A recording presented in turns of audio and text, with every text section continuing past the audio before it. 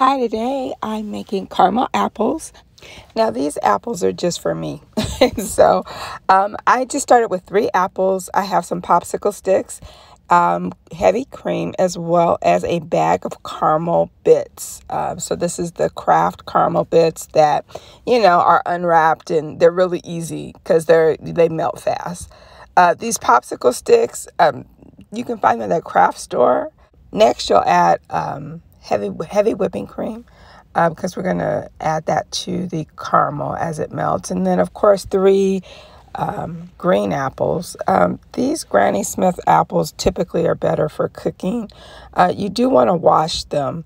So I use a little baking soda because the wax on the um, apple sometimes you know that'll make the caramel sort of slide off so i use a little baking soda and just wash the apples so next you're going to take the popsicle stick and actually insert it into the core of the apple. Now, if I wasn't just making these at home for me, I'd pull the little uh, stem off of it. It didn't matter to me because they were just for me. But if I was giving them out, I would take the stem out and then place the the popsicle stick firmly into the apple. And so you want it to sort of be centered so that it will hold and uh, stand upright. You're going to place your caramel bits into a bowl. Um, I've done a glass bowl because I'm going to actually use a double boiler method rather than the microwave.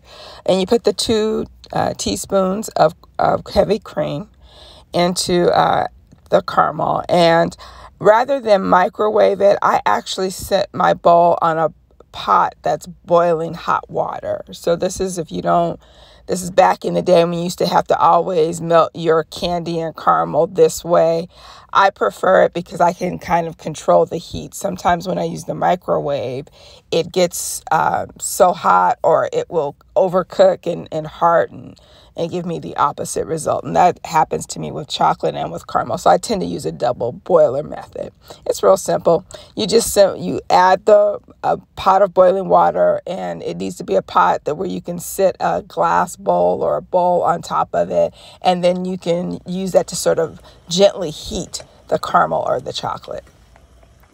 And as you can see, uh, the uh, caramel bits have melted and it's pretty easy stirring. And once it is completely melted, you're going to take your apple um, and you're going to just dip it into the glass bowl and continue to rotate as you see here, right? You're going to try to cover the apple with as much caramel as possible. And then once it's covered to sufficiently, then you can uh, lift it out, let the excess caramel drain off, and then place it on your parchment paper. Now, if you're making um, uh, something special for uh, Halloween and you want to make sort of scary caramel apples, what you can do is do this same method, but what you're also going to do is that once it's um, placed in the parchment paper, you can take your spatula and, and drizzle additional caramel over it. And so it'll sort of look like a creepy apple like this. If you're just making uh, regular caramel apples, they will look like this. And you're going to let the, the caramel sort of harden and uh, they're ready to give out or to eat. In my case, to eat and enjoy. Happy Halloween.